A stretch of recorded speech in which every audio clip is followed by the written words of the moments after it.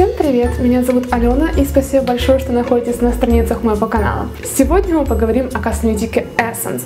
Наконец-то я добралась до их стенда и решила закупиться всем тем, что мне не хватает в косметичке. На этот раз мне удалось не только прикупить косметику, но и ухватить парочку продуктов для маникюра. Итак, давайте начнем с тональной основы. Сколько тестеров тональных основ я не брала в руки, никогда в Essence я не замечала тональных основ с легким покрытием. Скорее всего, это обусловлено тем, что она рассчитана для подростковой, более проблемной кожи. Но все-таки я решила рискнуть и взять вот такую вот тональную основу, которая называется Stay All Day. И судя по названию, это должна быть мега стойкая основа. На распродаже был оттенок номер 10, Soft Beige. И так как я недавно была в отпуске и загар мой немножко остался, я подумала, что именно этот цвет мне сейчас и нужен. Как и предполагалось, тональная основа довольно плотная. Но это ей не мешает хорошо распределяться по лицу. Иногда немножко проваливается в поры, но не критично. Так как этот оттенок уходит у нас более в желтый бежевый цвет, она с легкостью перекрывает все покраснения и даже синячки. Не только за счет своего плотного покрытия, но и за счет нейтрализации цвета.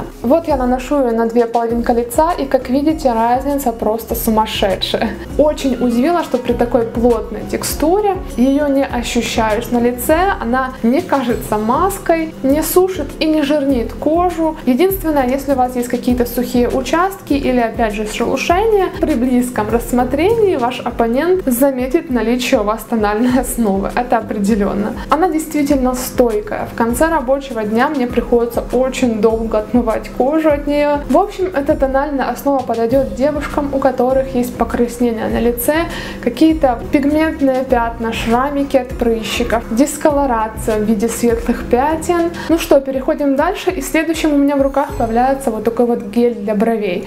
Я скажу честно, очень давно о нем мечтала, но очень боялась ошибиться в выборе, потому что я видела у некоторых девочек этот гель очень сильно заметно, и даже у блогеров, которые профессионально занимаются макияжем, на видео заметен такой ненатуральный блеск бровей, как будто вот взяли канцелярский клей такой в стике и нанесли на брови. Возможно, это модно, но лично я это не считаю красивым, и мне кажется, это парит всю контору, потому что с диалогового расстояния видно, что у вас на бровях гель. Так вот, гель Essence меня очень приятно удивил. На самом деле он может использоваться не только для закрепления волосков бровей, но и вполне может использоваться как база под тушь для ресниц, потому что имеет способность хорошо фиксировать волоски. Скажу сразу, гель я использовала только для бровей, для ресниц он мне не понравился, потому что как-то странно влияют на мою тушь, и под тяжестью двух продуктов мои ресницы начинают смотреть резко вниз. Для бровей этот гель, мне кажется, идеальный. По консистенции это что-то среднее между гелем алоэ вера и водичкой. Очень приятно наносится удобной щеточкой, при этом он быстро не схватывается и дает вам возможность хорошо разложить каждую волосинку на бровях отдельно. Также я заметила, что он значительно повышает стойкость продуктов для бровей. Я использую только карандаш и вместе с этим гелем он действительно держит держится до конца дня, даже вот хвостики бровей всегда у меня теперь уже на месте. Для макияжа глаз у меня появилась вот такая вот их новая однушка, которая называется Contouring Eyeshadow Set. И судя с названием, вы догадались, что он у нас предназначен для коррекции формы глаза. Это матовые тени в очень правильных оттенках, ну в плане коррекции, конечно. Первый оттенок это такой пастельно-розовый с легкой ноткой персика. На сводчах он кажется практически белым, но с базой базой от Maybelline Color Tattoo приблизительно в таком же оттенке.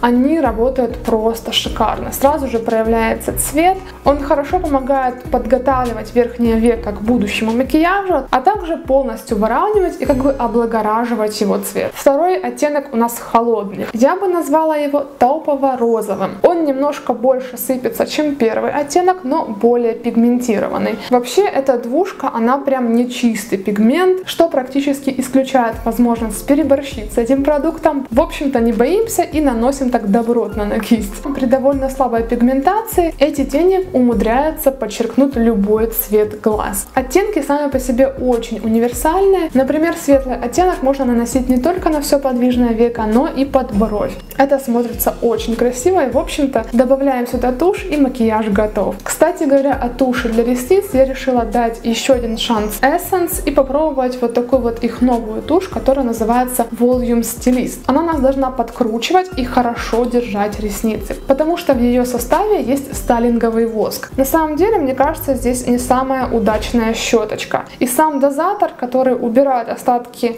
туши, мне кажется, вообще не работает. То есть, когда вы достаете кисть, у вас она полностью перепачкана продуктом. Причем так конкретно. Вам приходится по 2 часа сидеть и убирать остатки. Сама щетка какая-то странная. Она очень большая и сделана в виде такой ложечки. То есть на одной стороне щетки нет ворсинок. Так как здесь дозатора нормального нет, вы практически берете и ставите кляксу на своих ресницах и пытаетесь ее как-то потом растянуть. Она не удлиняет, но распушивает ресницы. Как по мне, абсолютно их не фиксирует. То есть нет заявленного изгиба. Ресницы торчат куда им хочется. И при этом сама формула туши очень странная. Она как будто крупинками и такое чувство, что у вас самая дешевая тушь. Причем просроченная и иногда обсыпается под глаза. Жаль, но это опять промах. Обидно, что у Essence почему-то не получается сделать хорошие туши для ресниц. Если вы нашли такую, обязательно напишите мне в комментариях. Ну что, переходим дальше. У меня в руках вот такие вот румяна. Это их новая версия знаменитых румяшек Mosaic. У меня была еще их старая версия. Сейчас они обновили немножко их дизайн и, в общем-то, сделали их меньше. И я бы сказала, более универсальными.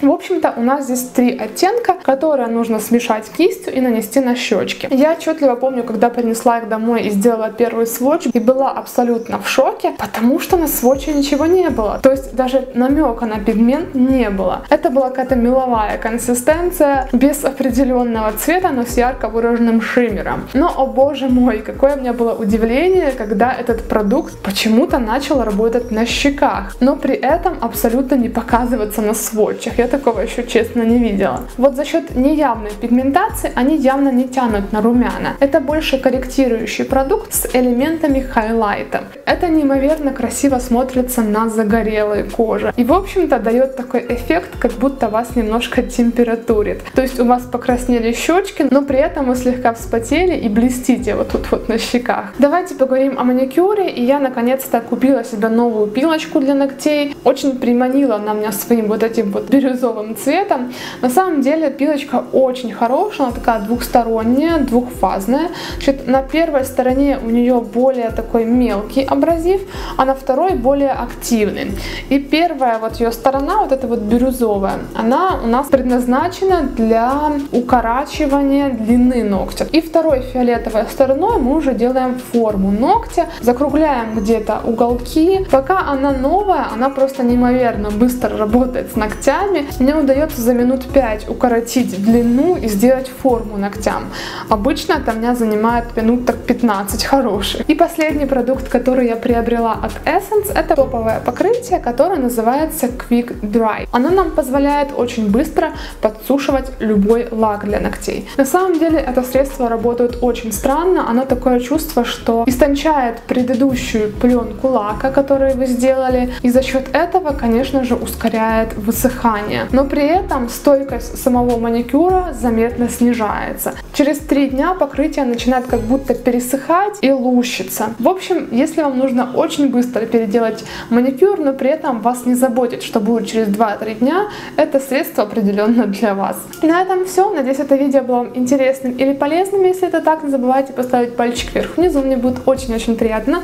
Напишите мне в комментариях, какой продукт от Essence вам нравится больше всего, мне будет интересно почитать. Спасибо вам большое за внимание, а я вас всех целую и пока!